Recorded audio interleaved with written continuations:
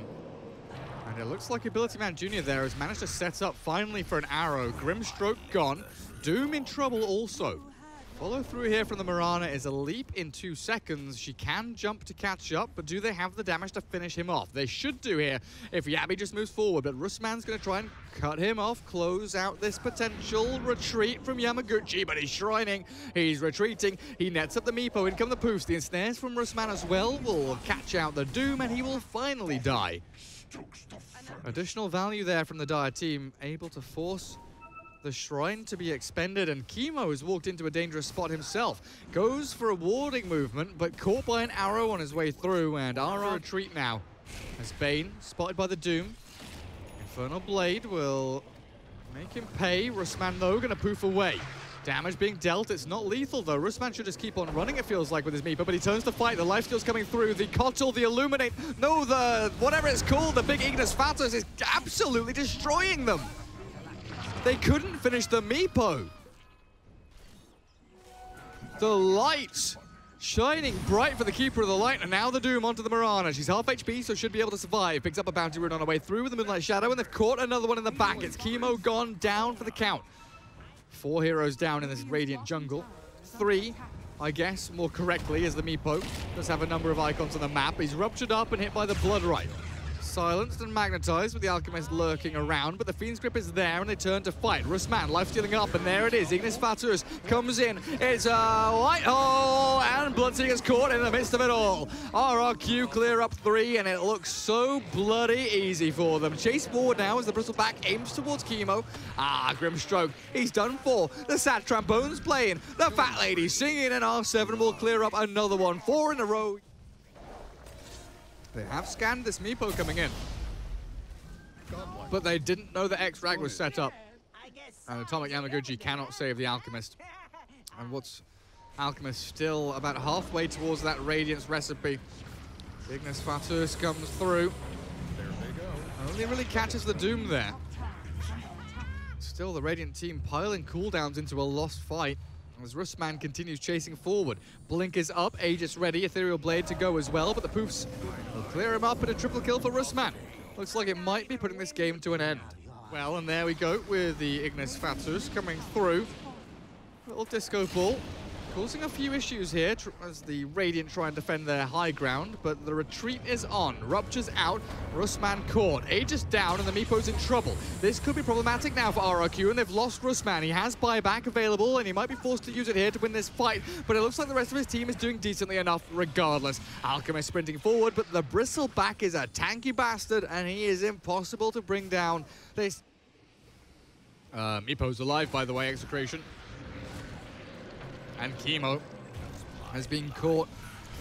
So Melee Rack's likely to fall, but Grimstroke has finally respawned. In comes the Ignis Fatuus. It's going to catch the Alchemist. He gets his stun off in time, though, towards Rusman, but the heal from the Illuminate is there, and they're losing heroes. Execration, four down, no buyback. Meepo dies, but he will return to the battlefield as he immediately snap buys back. Three lanes of barracks going down now, though. Execration have five alive. And they're going to move in for this final defense, but Bristleback up at the front, tanking everything up, and the Alchemist concocts himself. He's getting arrowed, and he's dead. Has buyback, and might be forced to use it. He's going to be forced to use it. Uh, there we go. They used it. GG is called. They're going to spend their money on calling it. 5 to 25. RRQ absolutely curb stomping execration in the game one here. But they've got such a good level one battling lineup that it is pretty hard to contest. And Ability Man Jr. is going to show off why right there. Decayed into the ground and Rusman in trouble as well. Getting body blocked up by Yaha. Very nicely done. Holding on. Holding on. Biding their time and waiting. Now Abaddon with a shield. That's why. Dispels it off. And Kimo fights. The two-man decay yet again up in their face. Ability Man Jr. tries to turn with the Brain Sap, but Kimo is tanky and he's withstanding it all. Rusman battles away with Atomic Yamaguchi. They get the Frost Nova to finally bring the Undying down. But this Abaddon, he is causing problems for the Lycan. And Lich Yaha was tracking back to try and find a target. Monkey King in trouble middle, damage being dealt. Axe gets the call off. Monkey still turning to fight with the Jingu stacks up. He's going to get finished off by the Brood, and meanwhile top lane R7 salves up, healing, running, sprinting away. The decay is there to land, and he will finally back. And now they switch targets to the Lycan in the middle. His name isn't Malcolm. He doesn't have two brothers, but his mum is still screaming at him as he's going to get hit and procced with that Curse of Avernus, slowed and...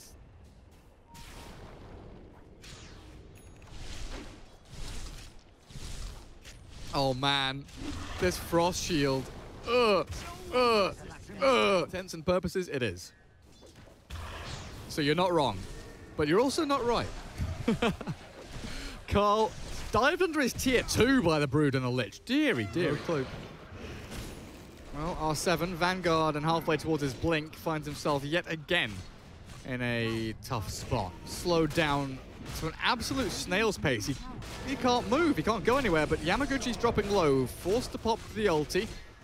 Borrowed time will crack him back up to full HP again, and that Tombstone did some seriously good work. In the meanwhile, though, middle lane, they go in with the Frost Shield yet again, the Boundless Strike juked and dodged by these spiderlings. Beautiful stuff from Yabi. And the fear is there from that cursed gaze. Oh, poor Rusman. Gets absolutely obliterated. They have the blink on the axe now, and he makes a jump onto Palos. Weaver, absolutely dunked. They've got a Nightmare onto the Monkey King now as well. Quick Fiend's Grip comes in. Shuriken to cancel it off, and Ability Man Jr. has to turn and burn with the Brain Sap, but the dunk from R7 catches and kills, and now that Sinister Gaze with a big Chain Frost bouncing into the creep wave, unfortunately, but Yaha will still likely get caught here. No, never mind. He runs off to the east, and Kimo will be that sacrificial hero. Q have done about a third HP to Roshan. Wukong's command. Animation cancelled. In it comes now, though. Finally brought out as the courier flies on over. Yamaguchi's in, looking to try and focus down Yabi. The Broodmother's in trouble. The call will try and buy time, but it's not fast enough. R7 is in trouble, and they've jumped the monkey back up into the trees. The Undying is the tombstone down, but the decay spammed down, and Rusman can't stick on a target. He's chasing down Yaha, but he doesn't do enough damage. Yaha's got the shield on him now. Turns to fight with the Shuriken bounce. They've got a catch in the back as R7's found. There's Carl with the help of Palos, clearing up one, two, three in a row. They know how to count. Shifting forward, looking for the Bane. Needs to Nightmare save himself. Stick charge, Brain Sap, not enough. They're coming with Yabi and the Chain Frost. R7 caught a call, but it's not enough. Oh, Yabi's stuck now. Needs to fight, needs to stand her ground. This Broodmother has nowhere to run, and this is what happens when you do. You get chased down and caught out. Palos looking for more as he moves up now. Wukong's command, the lag, the freezes. What's happening? I don't know. The Crimson Guard from Kimo keeping himself alive through the spiderling damage, but they've got a Nightmare in the back. It looks like Yamaguchi's taking it off with his Helm Creep, but he's still going to get called up.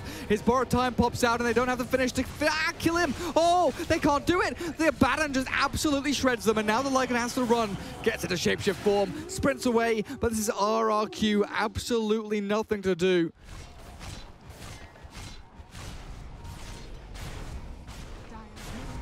Good blink call onto two, though. Aegis down. Carl jumps in. The Bane. Oh, this is problematic. Good Boundless Strike to stop the retreat there of the Axe, and the final tap comes out from Carl as X-Rag. Unfortunate attention is drawn towards the Lich. And RRQ, they are bleeding out at this moment. Said, why so quiet? So I assumed my microphone was quiet or something. Anyway, it's irrelevant. Fiend's Grip. Weaver finally dead. One Tempo shifting. Kind of uh, critical mass hitting heroes, right? They get these big items. Maybe this is it. A good pick off onto the monkey. Gets themselves a good chunk.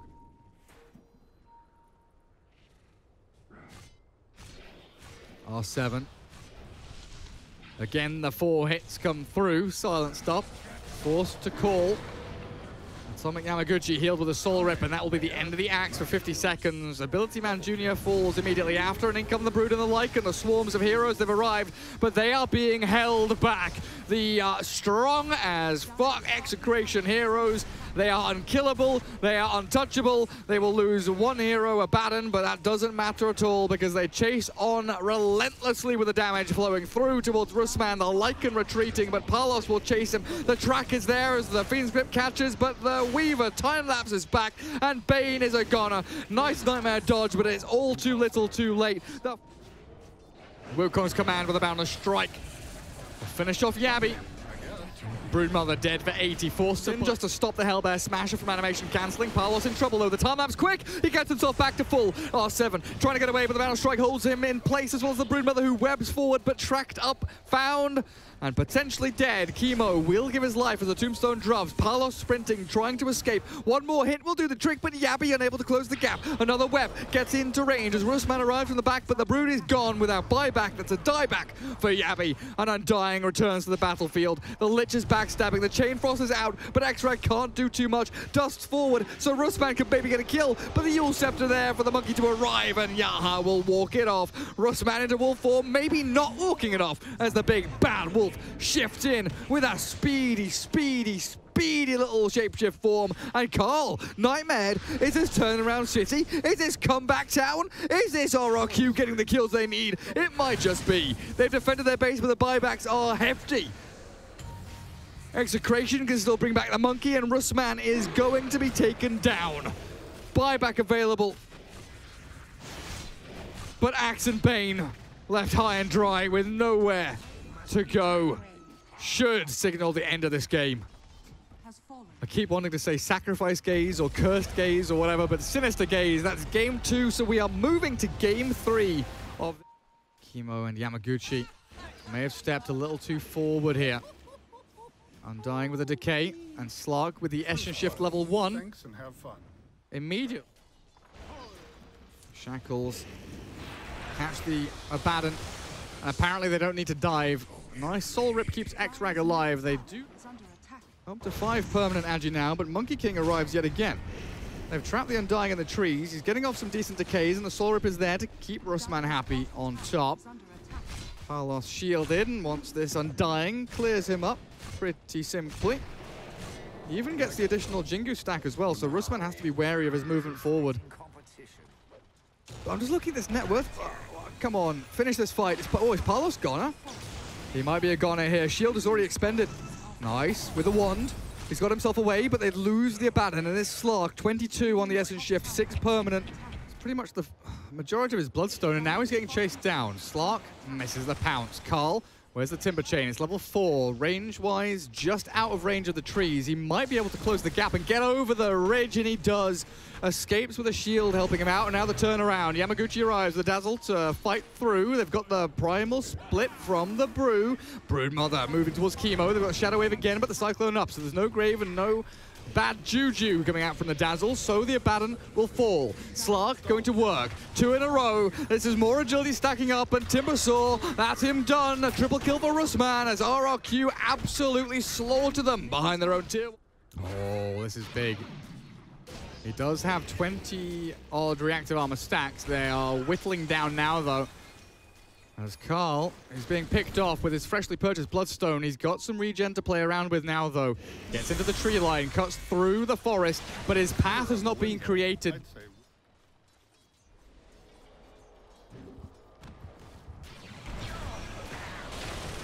Monkey King's going to pop his ulti here. To no avail, it appears. Palos Mischief in two seconds might buy himself enough time, but no, never. Shield is problematic now as it adds damage output as well as survivability to this Timber Timbersaw.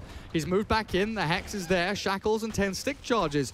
Also potential here for X-Rag to throw into the mix. Getting jumped on yet again by Carl and finished off by the Timber, but the backstab is arriving. Ability Man Jr. looking to defend this tier 1 with a Tombstone and the Flesh Golem. Needs to Soul Rip his Tombstone to keep it alive, but it's getting right-clicked. It will die. Slark arrives though, and Kimo's self-grave will put an end to Yamaguchi, and there's no TP, no availability, and Kimo will be a casualty on top. So two for nil. Yeah, of course. He thought he was trying to buy treads. He was trying to buy treads. And he forgot that it's Blades of Attack now, not Gloves of Haste. They've killed off Kimo though, so safe potential here for the Radiant has been pretty much negated, not just mitigated, because the Timbersaw dead for 75 with buyback, but they're being torn apart by this Slark. Rusman is going absolutely ham. Takes down the Monkey, and has three dead in quick succession as they're looking for a fourth in the back. The Hexed up Abaddon does get his ulti off, and in the front they kill off the Ogre. A five-man wipe is incoming here as RRQ lose zero.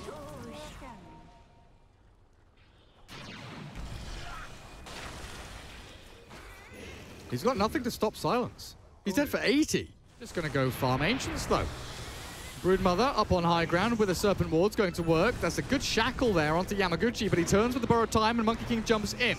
No Wukongs though, and dealing with his Tombstone will be difficult because Ability Man Jr. with level 2 ulti has a 1000 bonus HP, and Primal Split is ready. In comes R7, the blink and the clap with the crits and the hits, they'll clear up two, immediately dead, the Monkey King gone with no buyback as well for one minute, and R7 holds the Primal Split.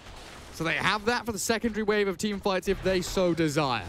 Five alive for RRQ, another tier 3 falls, and in comes R7. There we go, Primal Split moving forward. Cyclone up on the Abaddon and chasing forward towards the Ogre. Force them back into their base as Yaha needs to sit down. Behave yourself. You're on the naughty step. Ability Man Jr. is being focused by the Timbersaw, but look at him go. Carl down to half HP. This Primal Split's doing work, controlling up Carl. The clap, the crits, is it enough? The Bloodstone heal will keep Carl going, but it's a tough one to deal with.